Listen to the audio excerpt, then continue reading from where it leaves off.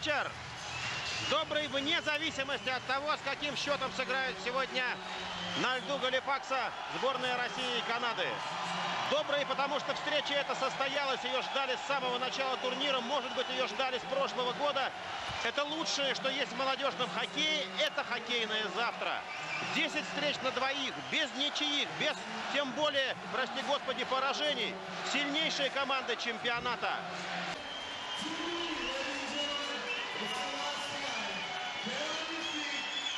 No line. No line. No line. Я не знаю, слышит ли меня Москва. Вот так бывает, что в процессе даже уходит линия куда-то. No line.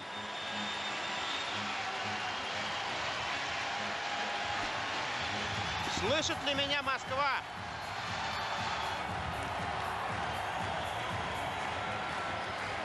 Без нервов тут не обходится. Очень хочу, уважаемые телезрители, что будет, если Россия сегодня победит.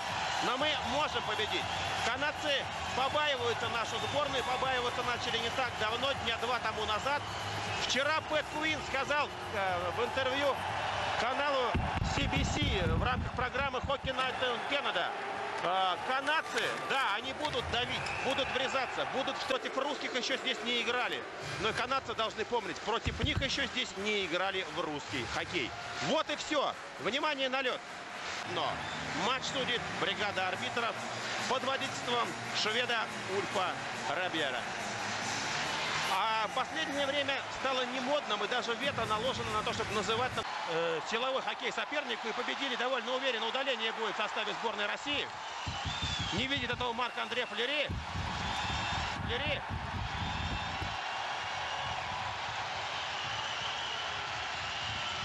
Так, начинается. 2.31. Дерек Рой. Лучший в составе канадской сборной, на мой вкус, на этом чемпионате. Сколько бы там он ни забил, не отдал. Передержал направо, да, передача нужна была. И на ходу был партнер. Чуть-чуть Пестунов сейчас ну, наверное, понадежнее хотел сыграть, а может быть, слишком вперед смотрел Жердев! Ах, как нужно, чтобы Коля забил сегодня. Ах, как это нужно и ему, и всем. Спокойно, Саша, спокойно. Никого тут рядом нет соперников. Хороший пас. Все здорово, бросок. И Флери все как положено. Отбивает шайбу в угол площадки.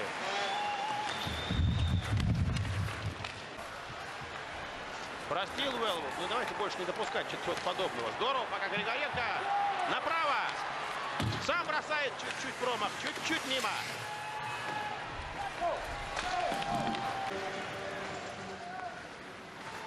С одной стороны, понятно, почему наш рискует побольше. Вот опасно, бросок! И шайба в угол уходит. Но по броскам-то... Здорово! Не успеет Кайгородов. Должен сам решать Жердев. Не успеет Кайгородов. Отличный пас! Ансаков! Ах, какой пас Жердев сделал! Ах, какую передачу!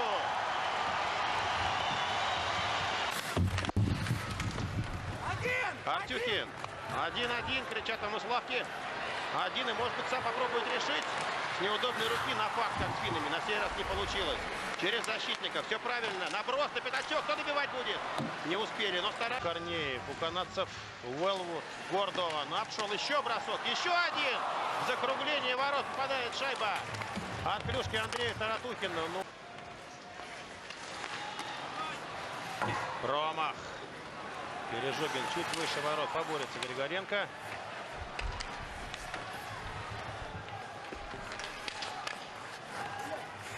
Пережогин. Ах, как здорово. Таратухин. Бросок.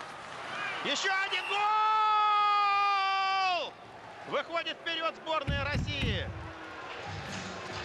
Андрей Таратухин. 12 минута. Три единицы и семерка на табло. 11 минут 11 секунд. И все по делу. И все по делу. Додавили, доиграли и реализовали. Пока все хорошо, ребята. Пока все нормально. Вот все хорошо было сделано. Григоренко зацепил ситуацию, да, доборолся с Гордоном, дождался, пока приехал сюда Пережогин. Ему проще было. И Пережогин партнеру по клубу тут выдал уже пас роскошнейший. Как клюшкой сыграл. Дальше. Гол. Гол. Попал, что называется. На удачу вслепую Ян Вайт. 1-1. Надо же, сразу пропустили минуты, они продержали. А все с чего началось? с Неточного паса в среднюю зону.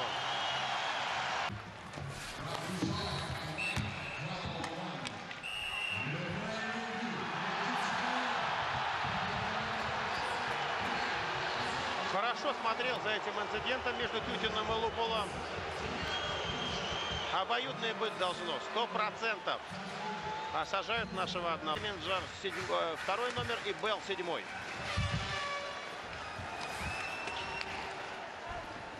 Поехали.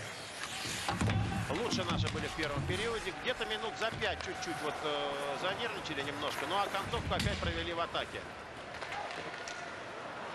Бросок! Хорош флерита оказался, а?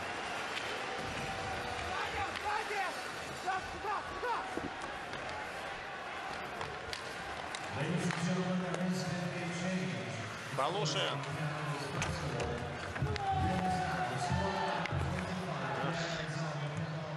Атухин не сумел. И канадцы раскатываются. Воевитка.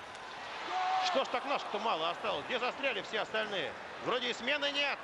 К воротам уходит Игорь Григоренко. Ну! Ай-яй-яй. Ну тут понятно, тяжело было забить, тяжело. Но жалко-то как, а?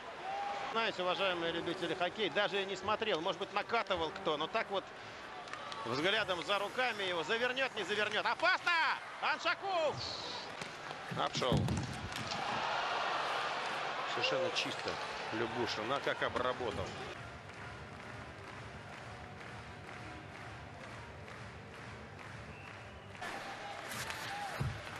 Овечкин. Бросок. Лайк. Очень хорошо. Очень хорошо и чисто сыграл Корнеев. Григоренко! Жалко. Ах, как... Трубачев. Тютин. Флери. Был у нас чемпионат мира молодежный. Все для высоких иностранных гостей. А здесь все для высоких не иностранных своих. Вот так. Поскольку мы в Канаде, мы так и будем рассуждать. Все для наших. А Григоренко имел еще один шанс, правда. Гол. Гол.